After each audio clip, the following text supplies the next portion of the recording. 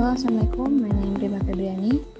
For this Bandung Creative Movement 2020, I wrote the article with the titles Opportunities for Utilization of Natural Fiber Fabrics in Home Living Textile Products with Lifestyle Trends Back to Nature. The study used a qualitative method with a business opportunity planning approach. The biggest reason is that the adoption of more environmentally friendly methods for the Indonesian fashion industry can be seen to provide many broad benefits. And with this presentation, I'd like to share it with 5Ws and 1H method.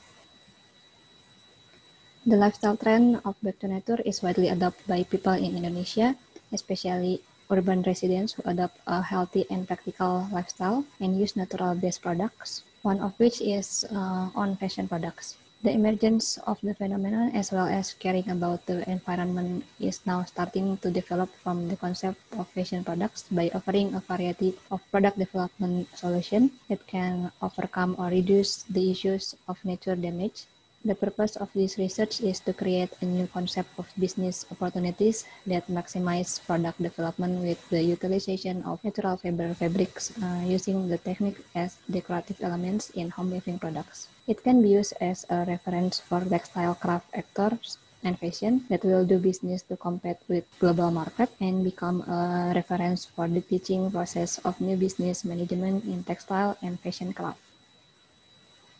The application of lifestyle is not only needed in fashion, but can be aligned with all products consumed daily. To support uh, the activities inside the house, the product must have an environmentally friendly concept according to the pattern of consumer lifestyle. Home living products are often found not much the focus on textile material by utilizing environmentally friendly materials. Uh, but many local brands designer respond to this lifestyle by creating clothing with natural fiber-based ingredients that can be used for daily activities. But this method is seen as not yet widely implemented in home living products.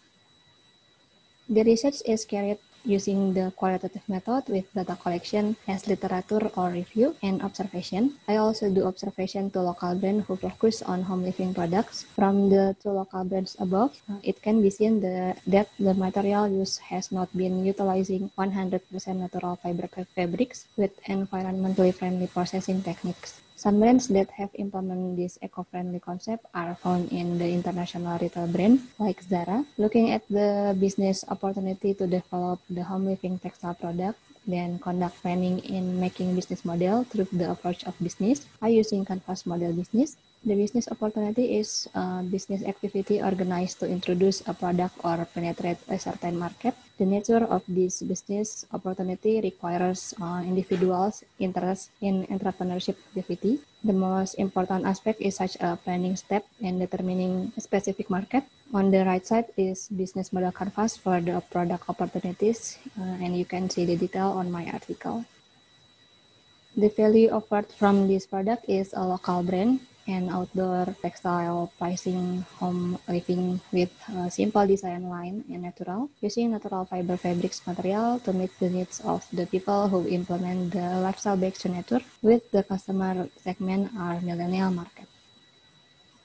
This is the first prototype of the products. Uh, home living textile category is blanket made from 100% cotton, engineering woven and tapestry, with style natural according to the mood board that's screen on previous page. In comparison to the price of sale, this product has a selling price in the range of 600,000 rupiah to 1,500,000 rupiah, which is assessed to be competitive with the price in similar markets. Uh, and I also make an, an SWOT analysis that you can see the detail on my paper.